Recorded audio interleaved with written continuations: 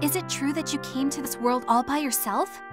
You must have been very lonely before you met up with us. Oh, you don't have to worry about me. I'm used to being alone. That's how I live back on the plains. Back on the plains? But I thought you were from a noble family. Only technically. My mother was from a noble family, but not my father. He was the son of a Lorca chieftain, a nomad. My parents eloped in secret, and I was raised as a simple plains dweller. Did you have any idea who you were? Or who your mother was? No, my parents were killed by a group of bandits before they could tell me. After that, the Lorca scattered. And I, well, I just lived on my own. How terrible! I'm sorry for bringing all this up. It's okay. It happened a long time ago. But I think it explains a lot. You mean why I don't act like an average member of the noble class? Oh no, that's not what I meant at all. It explains your strength, your compassion. You're so, I don't know, true to yourself. Me? I'm always worried about acting like a proper princess or big sister. So I'm constantly second guessing myself and making mistakes. I understand. I was a bit bewildered to learn about my family's history. Suddenly, I was part of the nobility. It made me question everything. You were worried about the same things as me? I was, at first. Then, on my travels, I met some very dear friends.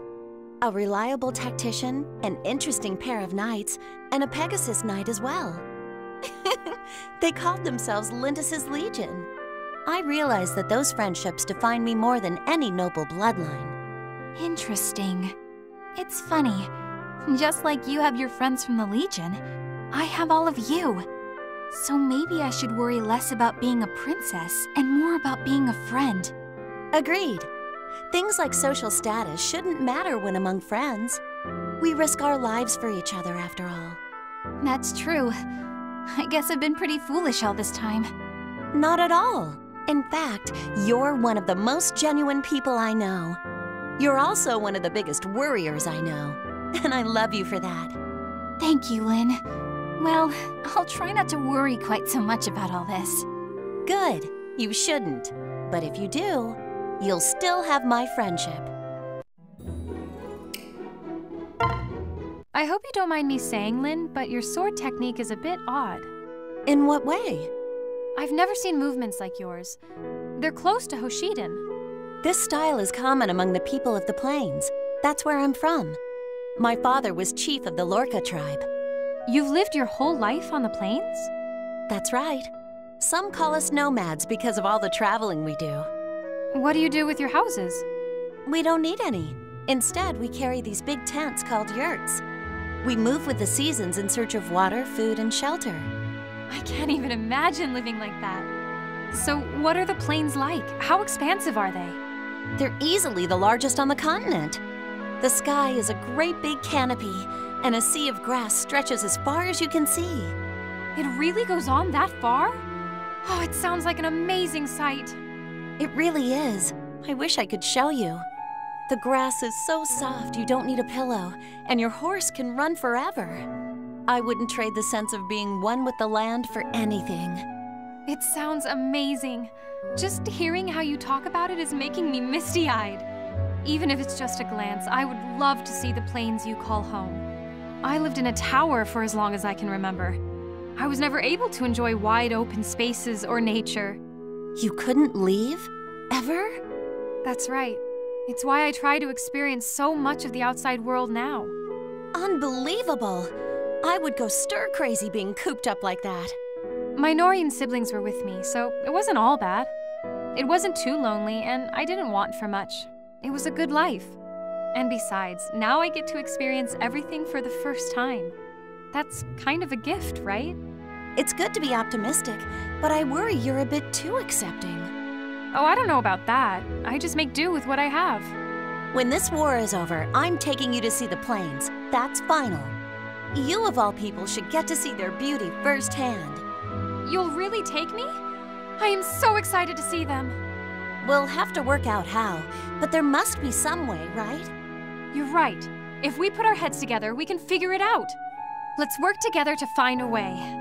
By Mother Earth and Father Sky, we will make it happen.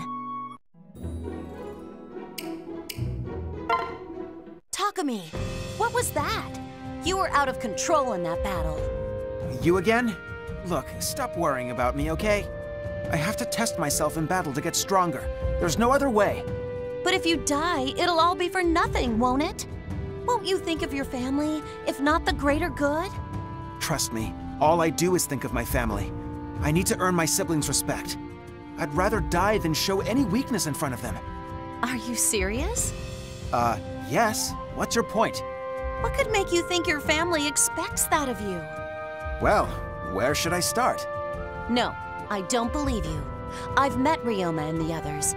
They would grieve terribly if you were wounded or killed. Nah, they'd still have Corrin. They like her better anyway. That isn't true at all. There's only one Takumi. You're irreplaceable. What if Ryoma died? Don't you think your other siblings would care? Of course. No one can replace Ryoma. So why don't you believe Ryoma feels the same way about you? Because I'm weak. First, you're not weak. Second, what does that have to do with anything? Let me tell you a story about my good friend Florina. She's a Pegasus Knight, but not a very capable one if I'm honest. She was assigned to protect me, but it usually works out the other way around. So you have a weak, useless protector. Doesn't that bother you? Of course not. She's one of my closest friends in the world. And her strength, or lack of it, has nothing to do with that. Or take Sakura. She's much weaker than you. Do you not care about her? No, I'd do anything for her. That's how I know Ryoma, Hinoka, and Corrin feel the same way about you. You may have a point. Even though you're incredibly annoying. I... I suppose I have some thinking to do. Good for you, Takumi. I was really worried about you. Believe it or not, there are other people who care about you too. If you're saying what I think you're saying, then thanks for protecting me. But I won't need protecting forever. Just watch. Soon I'll be strong enough to protect you and everyone else. Hey, I look forward to it.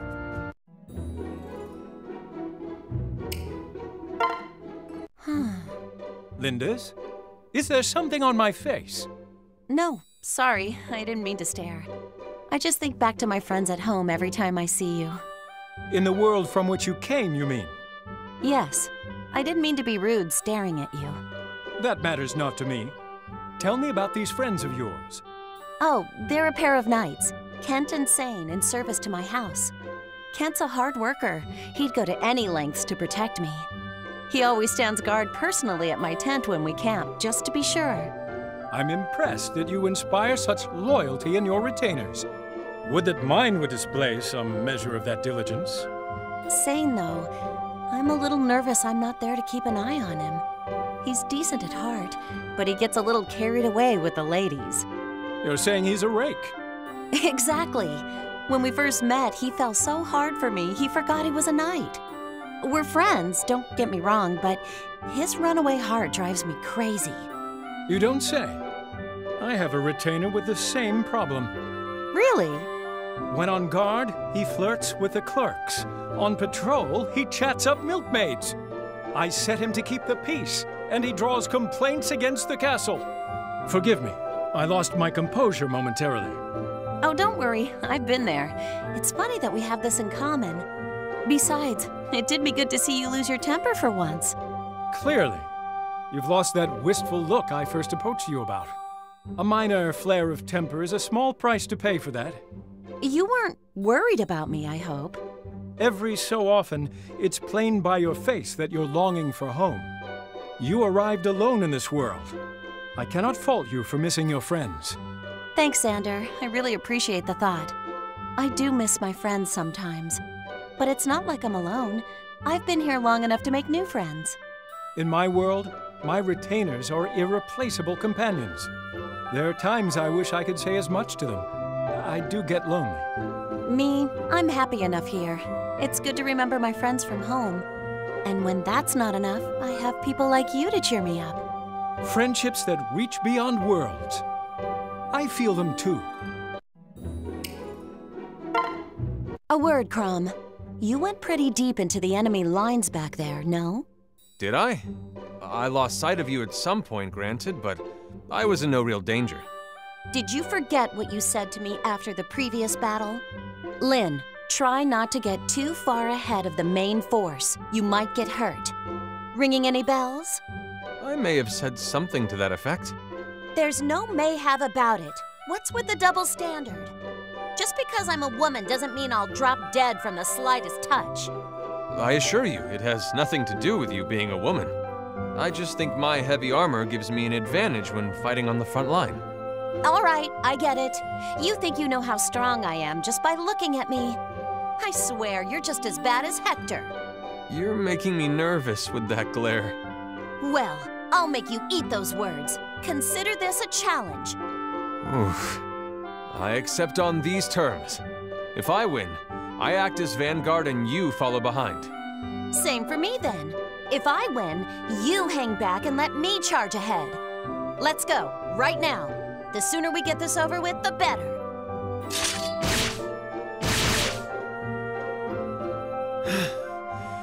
You're better than I gave you credit for. Same to you. I thought you weren't in my league.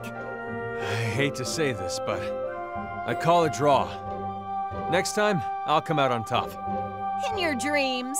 I'll work from sunup to sundown to find a way to beat you. Till then, though, how do we decide who gets to march on the front line? Oh, right. That was the point of the whole competition to begin with. Well, from all I've seen, I'm loath to stop you from leading any charge you want. Thanks, but I tied, not won. You ought to get to take the lead, too. I worry that if we both lead, we'll only get in one another's way. Hmm. What if we stick close together and dive into the fray at the same time? The two of us together would be like a hurricane sweeping across the plain. Huh. I like the sound of that. Even the most valiant warrior can be surrounded or overwhelmed when alone. I worried you would come to that fate, but I'll breathe easier if we fight as one. You're not immune either. That armor won't protect you from everything. Then we agree. In which case, neither of us need restrain ourselves. Next time, let's act together as the Vanguard. The closer we get, the worse it's going to be for our enemy. Robin, are you okay after that fight? Let me take a look. I'm fine, thanks to you. You don't need to worry about me so much. Not all tacticians are helpless in battle. I've been in plenty of fights. I can take care of myself out there. I'm sorry, you're right. Force of habit, I guess. That's a pretty intense habit. You watched me like a hawk. Not a single enemy got anywhere near me. What makes you so intent on protecting me? I'm just used to fighting that way. In my homeworld, I always kept the tactician close and safe. You triggered my natural instinct. So you travel with a tactician in your homeworld too? I do, and they're every bit as brilliant as you. Actually, you have a lot in common. I'd like to meet this tactician someday if I can. I'd love to compare theories on war and tactics and devise new strategies. I'd be glad to introduce you, but I must warn you, they can be a bit aloof. I'm not even sure they would carry on a conversation with you. Ah, the strong but silent type. But you're on good terms, right? Well, sort of. They're always very quiet, even on the battlefield. Not everyone needs to talk to issue orders.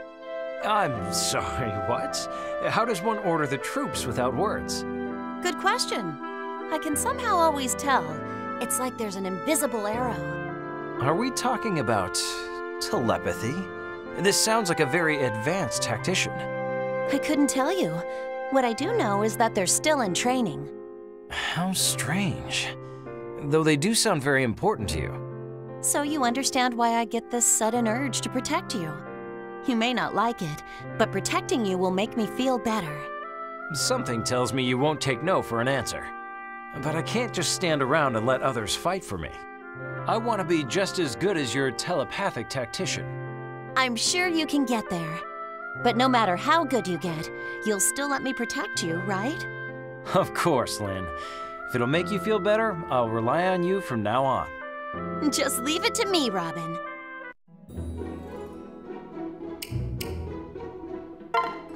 I must say, Anna, I was relieved when I saw you here.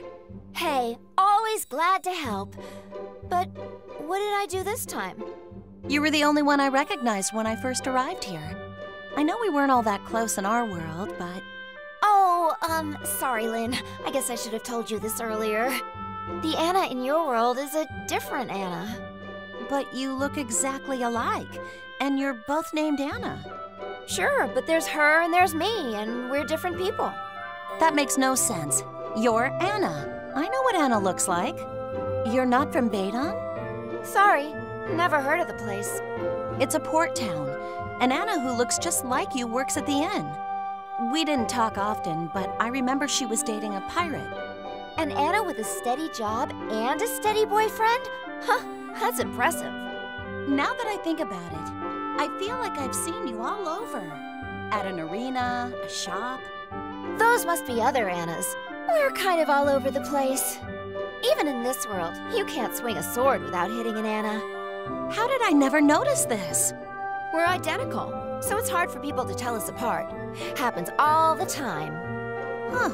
I thought there was something funny going on. As a representative of all Annas from all worlds, I apologize for the confusion. It's okay. I guess I shouldn't have assumed you're all the same person. Besides, whatever the other Annas are like, I know you're a trusted ally. Aw, shucks. you really think so? Yeah, you're the only one I'd call a friend. We've had each other's backs out on the battlefield all this time, right?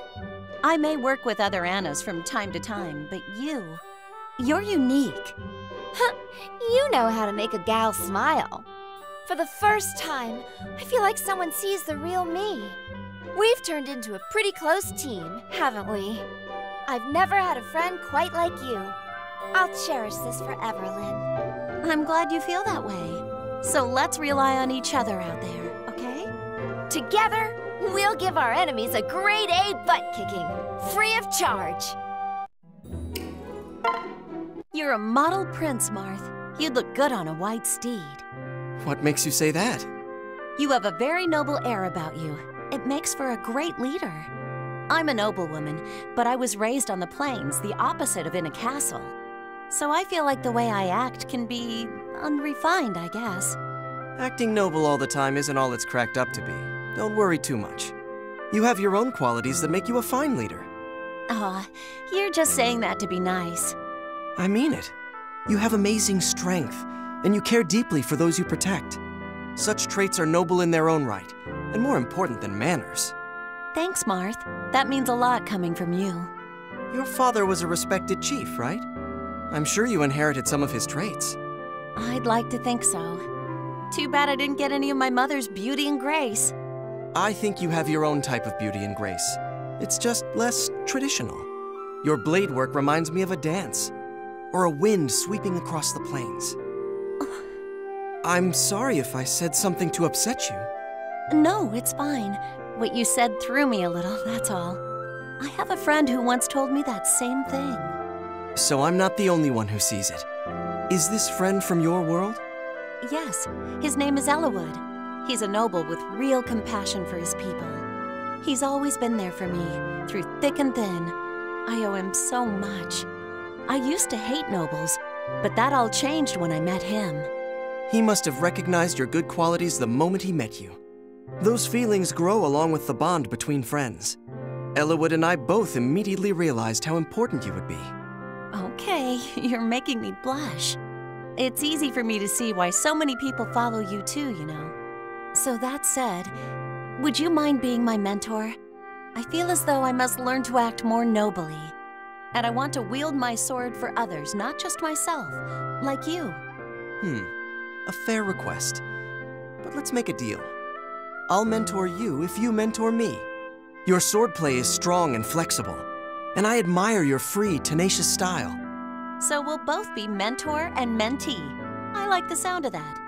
We'll fight, learn, and grow together. I look forward to it, Lyn. Hey, Lyn. What are you looking up at the sky for? Is someone coming? No, I was just thinking about the plains. Oh, do you want to ride?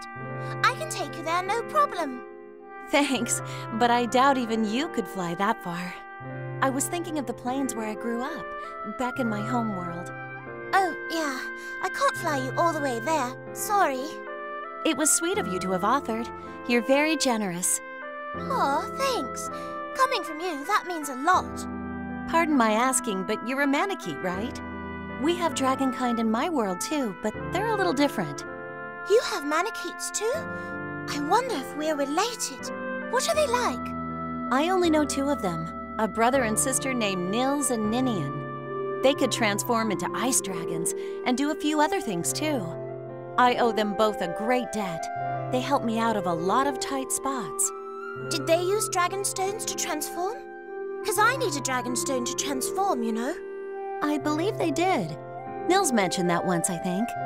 Maybe you really are related. That would be so cool. I wish I could meet them somehow. I mean, I have friends here, but I don't know any other Manaketes. And we live for so long, it can get lonely after a while. I hadn't thought about that. You'll outlive all of your human friends. I can see why you'd want a friend who will live as long as you. Maybe I can figure out some way to introduce you. Yay! I'll do anything to meet more Manaketes. What we need is a way for you to come visit my world. I'd be really excited to see you too, Lyn. Maybe I could even use my Manakete power to help you somehow. You've already been a big help, Tiki. Uh, it's nothing. I'd do anything for you, and I'd bet you'd do the same for me. You've got that right. Thanks for being my friend. Hey, Celica. I notice you still seem a little shy around me. Why is that? I do? Oh, pardon me then. I don't mean to come across that way. I saw you were bored, but you didn't call me over. I wanted to say I wouldn't mind. That's kind of you, but I wouldn't want to be a bother. Isn't that what friends are for? Though maybe a princess isn't used to that. Oh no, I had many friends in my village and at the priory. Besides, a princess I may be, but you are nobility yourself, aren't you, Lindis? By blood, maybe. But I grew up on the plains. Lady never sat right with me. I too spent most of my life outside of a castle. The priory was my home. Huh. I didn't know that. I guess we're not so different then. Hmm. But you were raised not knowing that you were of noble blood, right? Whereas I knew from the start. And you still didn't go back home? It would have meant my life. I only left the castle with another's aid. Afterward, there was a coup. All royals besides me were put to death. That's what being royalty has meant for me. A princess's reward for surviving an assassination is nothing but open war. I can sympathize, believe it or not. My family were also slaughtered. But once I found out about my heritage, things improved. I met my grandfather, and I made a lot of friends. All in all, my life hasn't been so bad. Surely you have someone to live for, too. Yes. Yes, I suppose I do. Just think, if you hadn't been born a princess, you might never have met them. So don't be too quick to diminish your bloodline. You're right. Whether I'm a noble or just plains folk, family is family. The important thing is what you can do for the people who matter. Thank you, Lindis. I see now that I was being a tad selfish, and that self-pity may have brought grief to those important to me. I should have seen the proper behavior from the start. I vow to accept what I am, and to consider what I can do for those I love. I would include you among them, Lindis. Hey, the feeling's mutual. I already feel like we're fast friends. And friends don't worry about bothering each other when they're bored.